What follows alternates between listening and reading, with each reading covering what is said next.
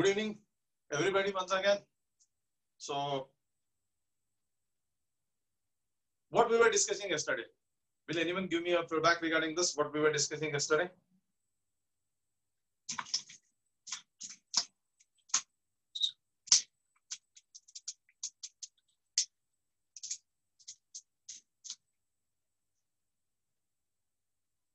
Yes, please. Anyone? what we were discussing yesterday. Are you getting my voice, everyone?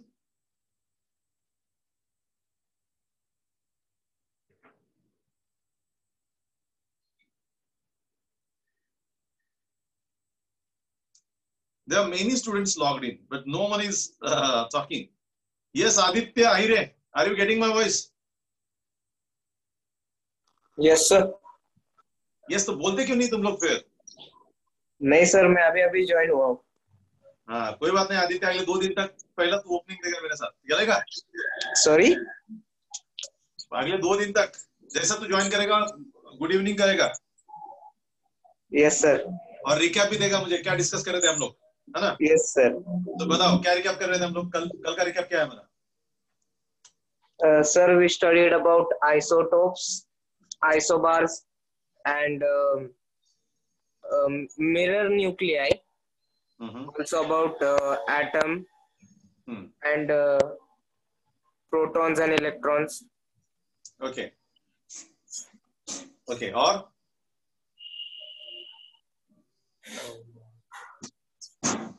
ठीक है बढ़िया बढ़िया काफ़ी अच्छा आपने रिकैप दिया है सो दैट इज़ इम्पोर्टेंट मतलब we should have the interaction वो हियर अगर इंटरेक्शन नहीं बनेगा तो इट्स डिफ़िकल्ट है ना सो जैसे कि अदर साल we has put the chat box and all so better to have the interaction चलो कोई बात नहीं one second let's start with the recap what we are discussing. We are here with a 13th chapter from your chemistry, nothing but the nuclear chemistry and radioactivity. जैसे मैंने कल बताया कि ये चैप्टर को तीन सेक्शन में हम लोग डिवाइड करते हैं। पहले सेक्शन में introduction to nuclear chemistry the core concept of nuclear chemistry and last में radioactivity and its application in our daily routine life what we discuss further more this chapter has very nice journey मतलब this has a very potential topic potential chapter and the future of world is nothing with the reason behind that energy crisis is the big crisis before all the world before every one every country capacity of the energy. And that's why everyone is thinking of uh, uh, some alternative sources of energy. And I think so. Uh, you may be aware of this one being this is the global warming. We are thinking of the renewable sources of the energy because this fossil fuels and all the energy we obtain out of that has the limitations. So that's why we need to go for the renewable uh, renewable sources of the energy. And and we know very well, uh, solar energy one of the form of this uh, renewable source of energy or renewable energy uh, we are turning towards, as well as nuclear energy is also one of the important solutions for this one because we have great deposits of this nuclear uh, radioactive isotopes and uh, using this we can make a nuclear power. So this technology just we have to conquer. We have to have research on this technology but it's very powerful energy.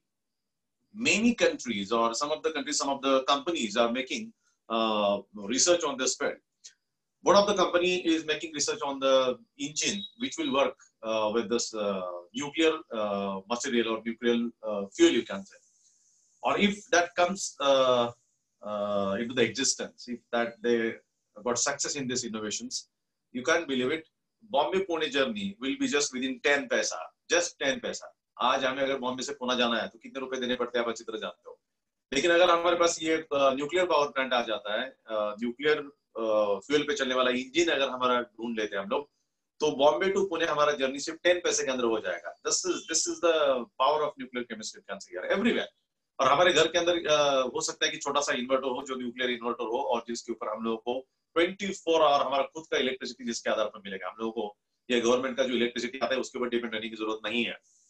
खुद का electricity एक छोटे से reactor के साथ हमारे घर के अंदर बनाएँगे।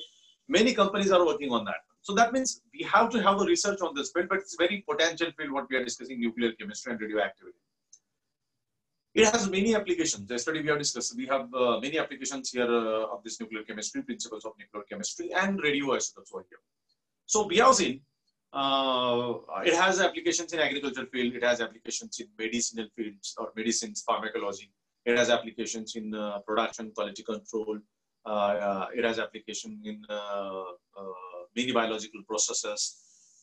it has many applications in geology, paleontology, where we are dealing with the fossils and all everything. it has many um, applications as like carbon dating technique is a very important technique, which is the application of nuclear chemistry or radioisotopes, carbon dating. So मुझे लगता है कि this is the power of nuclear chemistry what we are discussed yesterday and this is what we are discussing in the chapter. कल के lecture में हमने ये भी डिस्कस किया यहाँ पे कि we have seen structure of atom in one of the chapter जिसका नाम ही था structure of atom we have seen structure of atom many scientists put forth the structure of atom out of that uh, we know J.J. Thomson we know Rutherford atomic model Bohr atomic model finally quantum mechanical model but the father of this atomic model is nothing but the Rutherford Rutherford is known as because first time he uh, put forth a very revolutionary atomic model before us, and that's why uh, he is known as uh, father of the structure of atom. And whatever the structure of atom he put forth, that is just explained by some other theory. So according to that, uh, we have seen structure of atom consists of centrally situated highly dense area known as nucleus and electrons revolves around the nucleus. That is what we have seen over here, structure of atom. And हम अच्छी तरह जानते हैं कि this structure of atom can be compared, can be made analogy with uh, our solar system. In our solar system, हम अच्छी तरह जानते हैं कि sun is at the center and uh, electrons, uh, that planets revolves around the sun. So in our solar system, sun is at the center and the rest of the planet revolves around the sun. This is the structure of our solar system. Same like that, this is structure of atom. In structure of atom, nucleus lies at the center, which is highly dense area, and electrons revolves around the nucleus as like a planet. Every electron has a determined, decided path or fixed path in which that electron revolves. So this is the structure of atom. Where in structure of atom there are two parts. That is uh, one is the nucleus and another is the rest part of an atom. Nucleus consists of protons and neutrons. Mainly, there are many subatomic particles, no doubt at all, but mainly uh, atom is made up of proton, neutrons, and electrons, and that's why it is called the fundamental particles of an atom. Proton, neutrons, electrons are called the fundamental particles of an atom. That is also what we are saying. But but nucleus consists of protons and neutrons. Electrons revolves around the nucleus. So protons and neutrons are present into the nucleus of an atom, and that's why they are called the nucleons. That is also what we have seen. And based on this, atoms of every element is also called as a nuclide. Here in nuclear chemistry, we never say uh, atom of that particular element. We say a nuclide. तो general chemistry में हम atom कहते हैं molecule कहते हैं उस तरीके से इस केमिस्ट्री में न्यूक्लियर केमिस्ट्री में हम जब किसी एटम के बारे में बात करते हैं तो उसको हम लोग न्यूक्लाइड ऐसा कहते हैं so carbon nuclide then radium nuclide uranium nuclide helium nuclide ऐसा हम लोग कहते हैं। और उसके बारे में कल ही हमने देखा कि it's very important thing that कि every nuclide chemistry is noted like that X X Z and A ऐसा दिखाया जाता है। This is nothing but the N और we note very well that is nothing but you can say uh, x is nothing but the symbol of element symbol of element whichever is that z is nothing but the atomic number. Know A is nothing but the atomic mass number and N is nothing but the neutron number. Neutron number. So these are the very important things. And this is nothing but the nuclide तो nuclide इस तरीके से दिखाया जाता है अब ये nuclide दिखाने के कई सारे तरीके होते हैं जैसे मैंने बताया कल x is equal to Z A N ये एक तरीका है कुछ जगह ऐसा दिखाया जाता है x z a कुछ जगह ऐसा दिखाया जाता है x z a ऐसा भी दिखाया जाता है कोई भी कुछ ना हो this is very perfect way to represent that nuclide nuclide दिखाने का एक तरीका होता है। और इसके लिए जैसे मैंने कहा था कि carbon carbon six twelve oxygen eight eighteen then helium two four like this one hydrogen one two या वन थ्री या one four like this one so this is the way how we can write this one इस तरीके से हम लोग लिख सकते हैं और ये हमारे सामने है। That is what we have seen here So this is the way, and this is a nuclide. Now कल हमने ये भी देखा कि these nuclides are again classified into different different categories. अलग अलग categories में उन्हें classify किया जा सकता है. तो कल हमने देखी कौन से कौन से देखे हमने कल तो कल जो हमने क्लासिफिकेशन देखा था उसके अंदर सबसे पहले देखा हमने दैट इज़ आइसोटोप्स आइसोटोप्स दूसरा देखा हमने आइसोबार्स तीसरा देखा हमने that is you can say mirror nuclear हाँ फोर्थ देखा हमने that is nothing but you can say isotones And fifth, they come the metastable state also called as your uh, nuclear isomers. Isomers. These are also called as metastable state. So these are the five uh, type of important classification of the nuclides. This is called as classification of nuclides.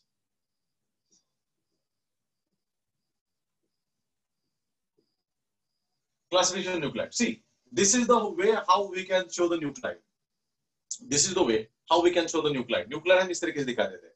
X is the symbol of element, Z is its atomic number, A is its mass number, N is its neutron number, and that can that is called as nuclide. किसी भी atom का nuclide इस तरीके से दिखाया जाता है and ये जो न्यूक्लाइड की क्लासिफिकेशन इस तरीके से किया जाता है can isotopes isobars nuclear isotones and nuclear isomers तो कल हमने जो डिस्कस किया था इसके अंदर आप देखिएगा even we talk about the isotopes तो उसके अंदर हमने देखा था say isotopes are having same atomic number different mass number carbon 12 uh, then carbon 13 then carbon 14 then atomic number 6 6 or 6 है all these are the isotopes of carbon all these are the isotopes of carbon no doubt because these are the atoms of the carbon having same atomic number but different mass number called as isotopes we have seen isobars isobars के अंदर क्या देखा हमने here sodium 23 magnesium 23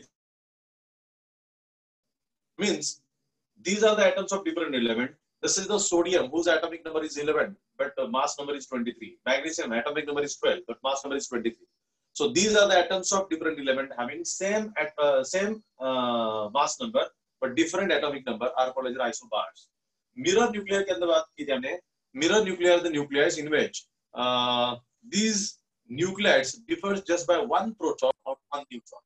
Either one proton may be uh, there uh, extra or maybe less than that. That's why they uh, इसके अंदर आते हैं. इसके अंदर एग्जांपल देखा था हाइड्रोजन और हीलियम. हाइड्रोजन वन थ्री और you can say helium two one four. तो इसके अंदर देखेंगे तो या तो वन प्रोटॉन या वन न्यूट्रॉन को इसके अंदर डिफरेंस होता है. इस तरीके से हम लोग इसके अंदर देख सकते हैं. So these are called mirror nuclei. Isotones की बात की थी आइसोटोन्स के अंदर हमने देखा था कि calcium forty and potassium forty are so here uh, calcium has 20 and potassium has 90 atomic number, mass numbers are same. Now, इसके अंदर होता क्या है कि न्यूट्रॉन नंबर सेम होता है। Isotones are having same number of neutrons neutron number same होता है। That they are called as isotone nuclear isomer जिसको हमने कल मेटास्टेबल स्टेट लिखा था। ओके नाउ शायद कल हमारा बस इतना ही बचा था। That is what are this nuclear isomers so nuclear isomers किसे कहते हैं आप लोग? नाउ देखिए कोबाल्ट की अगर बात करते हैं तो cobalt 60 and again cobalt 60 these are the two uh, isomers of cobalt name elements or cobalt name nuclide uh, better we say uh, cobalt nuclide so this is the cobalt nuclide this is also cobalt nuclide both has the same atomic number both has the same mass number okay दोनों का atomic number same है दोनों का mass number same है neutron number भी same होता है neutron number भी सेम होता है तो उनमें डिफरेंस क्या होता है difference is of the energy दोनों में डिफरेंस किस बात करता है energy so the difference is of the energy difference is of the element. But these are the atoms of the elements. These are the atoms of the same element having same atomic number, same atomic mass number, same neutron number. Just they differ from each other by energy. One will be having higher energy, another will be having lower energy.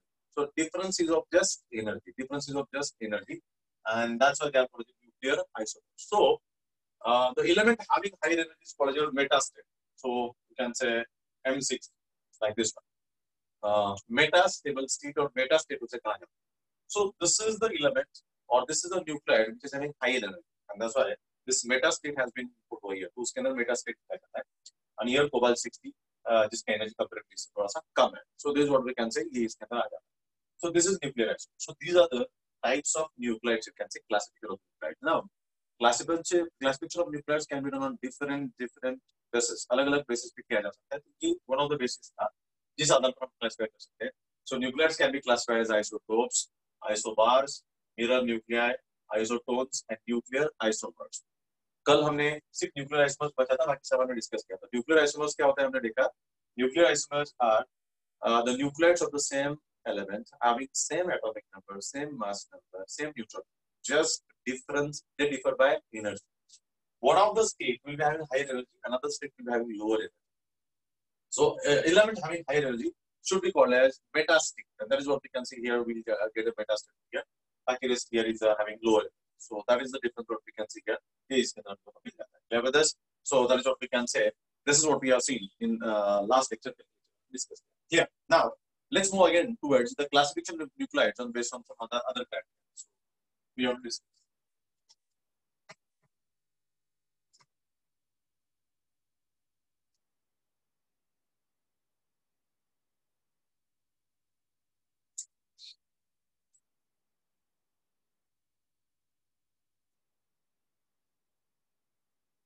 Classification you like, you like that two categories. Number one is nothing but the stable, stable nucleides, and number two is nothing but the unstable, unstable. So begin now. This is what we can say. So here, classification of nucleides on based on stability. This is the classification of nuclei based on the stability. Pehla wala jo classification based on the particle, the proton, neutrons, electron like that. This is the classification of nuclides, stable nuclides and unstable nuclides. Whatever the nuclides we get here uh, in the nature or naturally, this can be classified you can say stable nuclides or unstable nuclides. Uh, अभी किसे कहते हैं हम लोग stable nuclides, किसे कहते हैं हम लोग unstable nuclides. So these are the nuclides which uh, remains as it is for a long time, keeping for a long time. They do not change. Their nucleus do not change for keeping a long time. Then these elements of these nuclides are called stable nuclides. Whereas these are the nuclides whose these are the nuclides whose nucleus got changes uh, into some another nuclide uh, during the period, uh, some period of uh, time period. These are nothing but the unstable nuclides.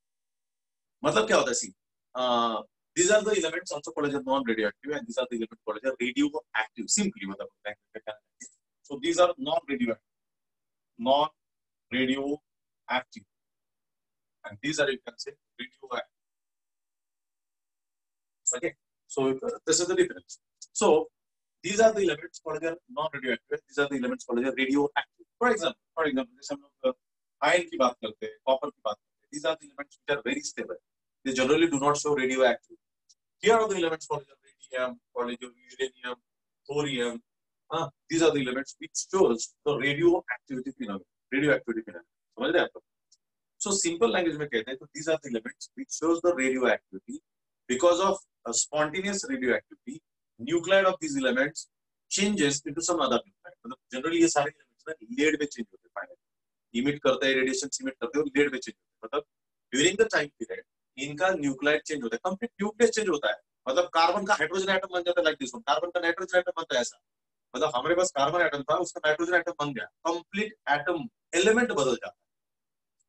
That is called उसे हम लोग इस chapter में nuclide कहते हैं है ना हम यहाँ पे एलिमेंट शब्द तो यूज नहीं करेंगे तो इस चैप्टर में उसे यूज क्या करेंगे nuclide so these are the elements whose nuclide changes with the time with the time period and that's why they are called unstable right simply they are radioactive natural radioactive and these are the elements whose uh, nucleus remains stable over a period of time nuclide do not changes and that's why these are called stable nuclides clear with this So this is what we simply just what we can say classification based on the stability, uh, stable nuclides and unstable nuclides. These are mostly non-radioactive elements and these are mostly radioactive elements. अभी radioactivity phenomena तो हम लोग discuss करना ही आएँगे but जाते जाते बता radio active मतलब क्या होता है रेडियो एक्टिव मतलब क्या होता है these are the elements radium uranium polonium these are the elements they naturally emit radiation from the nucleus of an atom ये जो रेडियम का एटम है उसके न्यूक्लियस से वो रेडिएशन इमिट करता है continuously and spontaneously. So radium spontaneously and continuously emits radiation. तो उसके सपोज ये अगर न्यूक्लियस है इस रेडियम का तो यहाँ से रेडिएशन बाहर आता है रेडिएशन बाहर आता है कंटिन्यूस आता है spontaneous till it attend the stability जब तक ये न्यूक्लाइड स्टेबिलिटी की तरफ नहीं जाता है तब तक वो इमिशन शुरू रहता है उसके अंदर एंड दैट प्रोसेस में नथिंग बट कंसिडर तो continuous spontaneous emission of high energy radiations from the nucleus of an atom is called the radioactivity. ये डेफिनेशन आगे देखना है बट चलते चलते देख लेते हैं क्योंकि कई सारे टॉपिक उसी के साथ जुड़े हुए हैं। With us so this what we can say in classification based on this next topic is we are here.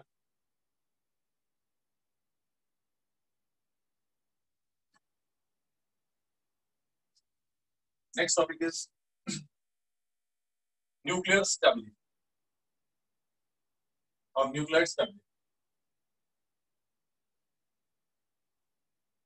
Nuclear stability अभी देखिए we are here with nuclide stability. Okay.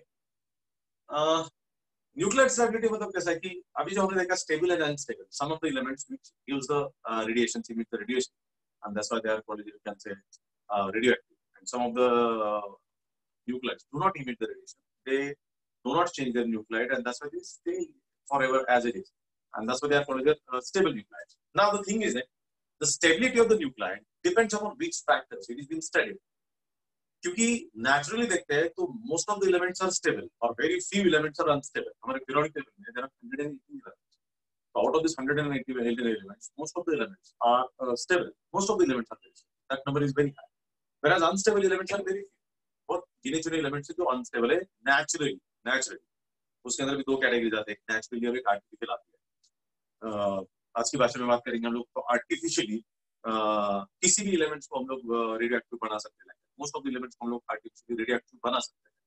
That is artificial but naturally अगर बात करते हैं there are hundred and eighteen elements including artificial and natural out of that most of the elements are very stable they do not show the radioactivity but very few elements which are unstable so they show the phenomena predict big question is that on which factor does this stability depends those elements which are stable in nature because of which factor they are stable in nature, because of which factor they are stable in nature. This has been uh, discussed and this is the point of interest uh, for the scientists and we, and hence we discuss uh, that is you can see nuclear stability. There are different uh, factors which cause uh, stability. Number one factor is nothing but odd or even, simply even, odd number of number of protons and neutrons, protons and neutrons or even odd number of protons and neutrons. So, when scientists studied carefully, when scientists studied, studied carefully, uh, the first reason they found that is that the given or odd number of protons and neutrons present in an atom. Say for example, हम carbon nuclide की बात करते हैं तो carbon six twelve carbon six twelve इसके हम proton की बात करते हैं तो फॉर्मूला क्या होगा A is equal to Z plus N A is equal to Z plus N इसका ए कितना है ट्वेल्व जेड कितना है सिक्स तो एन कितना रहेगा हम निकाल सकते हैं that is six equal to N मतलब इसके अंदर z कितना है z is equal to 6 that is nothing but the protons okay n is nothing but 6 that is neutron numbers and a is nothing but the we need this protons and neutrons so this is nothing but the neutrons so carbon element carbon element has 6 protons and 6 neutrons this is the what we get here in this one is going to be that okay अब देखिए, इसके अंदर देखेंगे carbon के अंदर। तो carbon के अंदर प्रोटॉन सिक्स है न्यूट्रॉन सिक्स है। And six is nothing with even number आप जानते हो even numbers two four six eight ten these are called even number और ऑड नंबर्स कौन से थे? आप मैथ्स में देख देख, देखते हो। One three five seven nine these are called odd numbers so this has been found that almost 126 elements are there 126 elements are there, which have even number of protons and even number of neutrons दोनों even होते हैं। दोनों even होते हैं। See protons are also even मतलब even protons and even neutrons ऐसे अगर देखते हैं इवन न्यूट्रॉन्स जिसकी बात करते hundred and twenty six table periodic table में ठीक है? Uh, ऐसा करते हैं। प्रोटॉन्स न्यूट्रॉन्स प्रोटॉन न्यूट्रॉन्स ऐसा करते हैं। एंड हियर प्रोटॉन्स भी इवन है न्यूट्रॉन्स भी इवन है। और ऐसे eleven hundred and twenty six है। ऐसे इलेवन ट्वेंटी सिक्स अभी कार्बन सिक्स कार्बन थर्टीन का एग्ज़ाम्पल है कार्बन थर्टीन के अंदर आप देखिए कार्बन थर्टीन के अंदर इसके अंदर प्रोटॉन्स है सिक्स और न्यूट्रॉन्स है सेवन न्यूट्रॉन सेवन है तो इसका मतलब इसका मतलब प्रोटॉन इवन है न्यूट्रॉन्स कैसा है ऑड है न्यूट्रॉन्स ऑड है ये देखते हैं तो प्रोटॉन इवन न्यूट्रॉन्स कैसे है ऑड है ऑड ऐसे 55 एलिमेंट्स ऐसे 55 एलिमेंट्स उल्टा भी केस होता है कुछ ऐसे एलिमेंट है जिसके अंदर न्यूट्रॉन ज़्यादा है मतलब कि ऑड नंबर ऑफ़ प्रोटॉन्स और इवन नंबर ऑफ़ न्यूट्रॉन जिसका नंबर ऑलमोस्ट 50 है।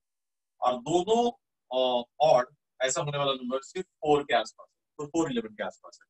दिस वेरी इंपॉर्टेंट तो आप ये अगर डेटा देखते हो ये डेटा देखते हैं इस डेटा से पता चलता है of the elements in periodic table most of the nuclides in periodic table have even number of protons and neutrons and that, that number comes to 126 अभी आप बोलेंगे सर पीरियोडिक टेबल में एलिमेंट्स तो 118 elements है।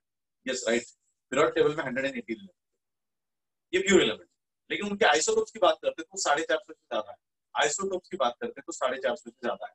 So here we are talking about isotopes. जैसे कि carbon 12 और ये carbon 30 these are isotopes. Periodic table में कार्बन एक ही बार गिना जाता है। समझ रहे आप लोग? तो पीरियोडिक टेबल में कार्बन एक ही बार गिना जाता है। कार्बन के आइसोटोप्स कार्बन 12 कार्बन 30 कार्बन 14 तीन आइसोटोप्स है। क्लोरीन के ऑलमोस्ट नाइन आइसोटोप्स है। ऑक्सीजन के तीन चार आइसोटोप्स है। ऐसे देखेंगे तो साढ़े चार सौ एलिमेंट्स का पीरियोडिक टेबल बनता है। If we consider isotopes of these elements साढ़े चार सौ के आसपास सारे पीरियोडिक टेबल के एलिमेंट बनते हैं। तो इसलिए बेस्ट प्योर एलिमेंट की बात करेंगे तो वो हंड्रेड ही है।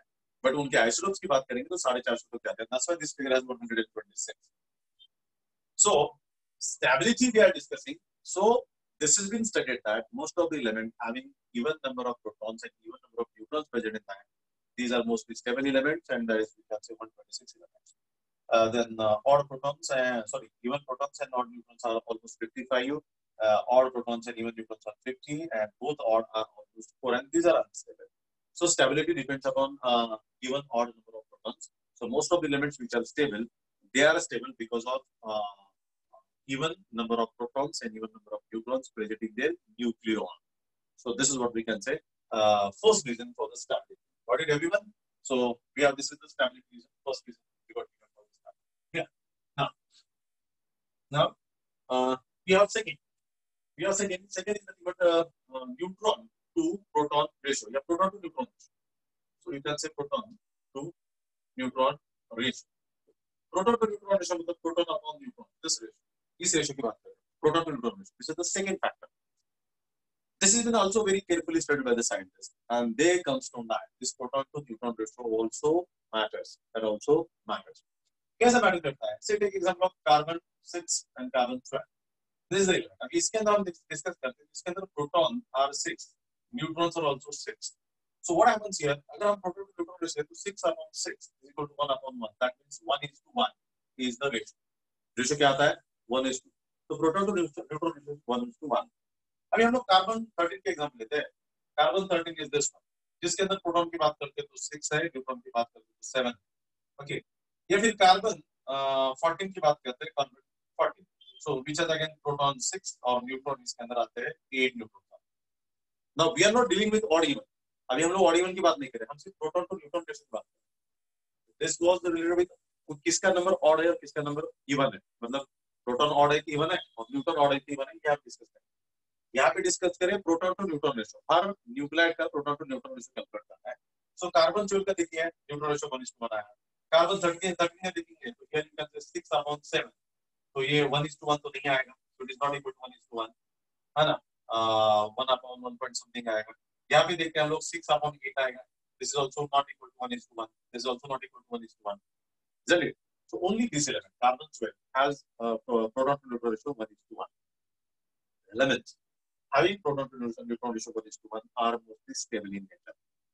जिनका proton to neutron neutron ratio 1 is to 1 है they are mostly stable in nature ये नंबर बहुत कम है एक्चुअली ये एलिमेंट का नंबर बहुत कम है मतलब पीरियड टेबल में आप देखते हो ग्राफिकली देखते हो तो नॉर्मली ग्राफ यहाँ पे तो graph here is atomic number and here is mass number so this is the element it's the gram so this is almost uh, uh, number 20 0 to 20 तक चलता है और ये than that higher than that so यहाँ पे जो element यहाँ पे ये element जिस element का ये जो lower graph दिखता है आपको everyone so जो lower part दिखता है ग्राफ lower part के अंदर element whose are whose are uh, who having uh, proton to neutron ratio equal to 1 and this is not having equal to proton to neutron ratio 1 ये नहीं in fact ये element stable है यहाँ से आगे भी graph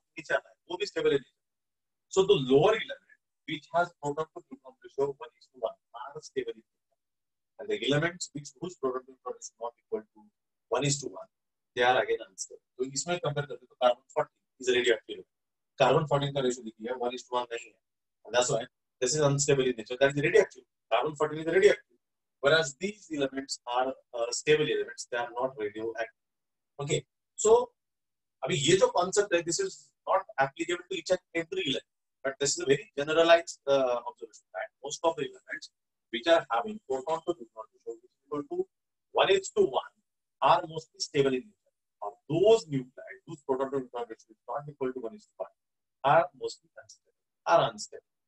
No, no, but it's not true each and every element. There are 100% exceptions. There are there's a exception. Here, proton to neutron ratio is not equal to 1. But this is not the reductive element. This is not reductive. This is the stable element. So that's why there are some exceptions, but this is a very uh, generalized observation. Most of the elements, foods produced from 1 is to 1 are mostly stable Nevertheless, so there are two factors what we have discussed for the stability. Number one is the number uh, odd even number of protons and neutrons. Dusra they can proton to neutron ratio. Now let's go to third number. Uh, third number is the number you can say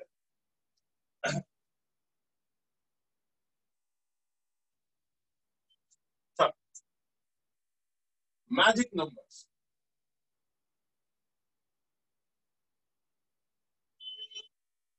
Magic numbers. Okay. When scientists studied most of the elements uh, given the periodic table, uh, given that is most of the nuclides, then they found that some of the nuclides are unstable and some of the nuclides are stable. What is the reason? They found that. And they found there are some magic numbers, like that you can say 2, 4, 2, sorry, 2, 8, 18, uh, 26, 50, like this. So,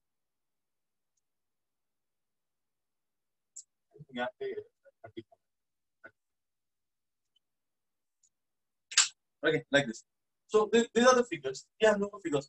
So these figures are uh, going to be a magic number. जैसे कि हमें भी कुछ लोग होते हैं ना जो हम अपना नंबर लकी मानते हैं है ना uh, I never uh, feel like that because there should be a some like this one. There would be, but I never uh, feel like that. But here, by going through most of the data, scientists come to conclusion that these are the figures. If they are present in any of the nuclide as the atomic number, as a mass number, they're found to be stable in They're found to be stable. So these are the numbers. Wherever they are repeated, there may be atomic number, there may be mass number, or there may be some uh, other sort of number present in that nuclide. But if this number is present, then these nuclides are found to be stable in nature. That's very important. Right? So these are one of the important factors for say magic numbers. So these are the three major factors which decides the stability of the element. Stability of the element. Now next is nothing with the uh, uh, next factor is nothing with the nuclear potential. Okay, I mean your number you know, you learn the number. Nuclear potential. This is the fourth which decides again the stability of an atom that is nuclear potential abhi nuclear potential potential itself is related with the energy potential itself is related with the energy है ना so potential ये energy का parallel word ऐसा माना जाता है या parallel word हम समझ सकते हैं understanding ऐसा ले सकते हैं so nuclear potential इसका दूसरा डेफिनेशन ऐसा होता है कि न्यूक्लियस uh, जो है उस न्यूक्लियस के अंदर how much energy stored in the nucleus तो आज की तारीख में तो बेसिक कोई नहीं पता पाया कि कितना एनर्जी न्यूक्लियस के अंदर स्टोर है वेरी वेरी हाई और unbeatable energy which is present in the nucleus खास करके आप देखिए आइंस्टाइन नाम के साइंटिस्ट की अगर बात करें तो Einstein is the scientist who is able to find out this nuclear nuclear जो फाइंड आउट करने में he become successful to certain limit. But it is not uh, he find out the energy, total energy present in that. He is not able to find out total energy. So we are dealing with your nuclear potential. मतलब energy present or stored in the nucleus of an atom. So अच्छी तरह कि uh, this is the nucleus of an atom, this is atom, and this is the nucleus. This is the structure of atom. This is the nucleus. और इस nucleus में कितना energy? That is the nuclear potential. Nucleus में कौन कौन present है? Nucleus में proton present है, nucleus में neutron present है, other particles अंदर present होते हैं. Okay. Now एक बात है कि protons are positive. Protons are positive. Neutrons are neutral. Neutrons are neutral. याद रखिएगा, आप अच्छी तरह जानते हो protons are positive neutrons are neutral now the thing is that how they are held together in an how they are held together in दुनिया में एक बहुत जाना माना कॉन्सेप्ट है called electrostatic force of attraction electrostatic force of attraction और electrostatic force of attraction का concept क्या है? So electrostatic force of attraction का कॉन्सेप्ट भी है there is you can say there is attraction between oppositely charged ions or opposite, opposite charges. So positive has the attraction for the negative, negative has the attraction for the positive. और इसी concept पे दुनिया बना हुआ है टिका हुआ है इवन एटम की बात करते हैं तो protons are positive electrons are negative and that's why they are held together ऐसा हम बोलते हैं इलेक्ट्रॉन्स यहाँ पे electron is negatively charge proton यहाँ पे which is positively charge so electron is held together with the proton uh, proton is held, held together with electron because of electrostatic force of attraction. That is also called Coulombic force of attraction. Coulombic force of attraction is the force of attraction oppositely charge particles ions opposite charges like that so opposite charges has the attraction and like charges has the repulsion this is the Coulombic force this is a concept very important concept उसके सिवाय science आगे जाता ही नहीं है। Physics में आप देखिए कहीं है। वही कांसेप्ट अगर हम न्यूक्लियस को लागू करते हैं व्हाट वुड हैपन आप देखिए what would happen this is the nucleus where protons and neutrons carbon की बात करते हैं। कार्बन 6 एंड 12 कार्बन में प्रोटॉन्स कितने हैं? 6 न्यूट्रॉन्स कितने हैं? 6 न्यूट्रॉन्स हैं। 6 प्रोटॉन्स एंड 6 न्यूट्रॉन्स के अंदर आप देखिएगा इसके अंदर सिक्स प्रोटॉन्स है और उसका जो डायमीटर है ten to minus fifteen metre का है। मतलब किसी भी दो प्रोटॉन के बीच का distance maximum ten to minus fifteen metre हो सकता है। मैक्सिमम टेन टू माइनस हो सकता है। सो so, इसका मतलब है all protons are positively charged. There must be a repulsion force between them उनके बीच में repulsion force होना चाहिए। Because like charges has the repulsion so one proton must repel another proton.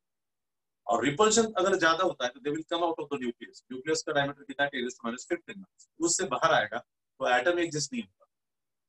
फिर भी वो पार्टिकल बाहर नहीं आता न्यूक्लियस के अंदर बना व्हाट्स द रीजन कौन से टाइप का फोर्स है? ये हमें ढूंढना पड़ता है, ये हमें देखना पड़ता है। That's why it's a very difficult concept when we talk about the nucleus potential, nuclear potential, at that time we have to discuss what are the interactive forces which are present between these nucleons that is the protons and neutrons which are the interactive forces because coulombic forces are not applicable to the nucleus that these are outside the nucleus normal chemistry में general chemistry में general physics में uh, हमारा daily routine lab में हम coulombic forces लेते हैं उसके सिवा हमारा physics भी आगे नहीं जाए but these forces are not applicable to the nucleus देखिए कितनी खास बात है कितनी important बात है कि न्यूक्लियस के अंदर भी coulombic forces of attraction present नहीं होते so though proton has the positive charge both the proton has the positive charge. There isn't a, a repulsion between them. So there are interactive forces. First proton has the attraction for another proton. This is first attraction. Dusra, neutron has the attraction for another neutron. Tisra, uh, proton has the attraction for neutron.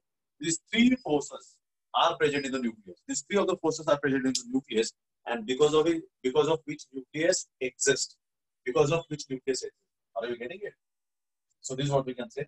So within this nucleus, these are also called short range forces. These are also called short range forces. So when we talk about the short range forces, which are the interacting forces present between this uh, present nucleus? So proton to proton repulsion, uh, new uh, sorry proton proton attraction, neutron neutron attraction, and proton to neutron attraction.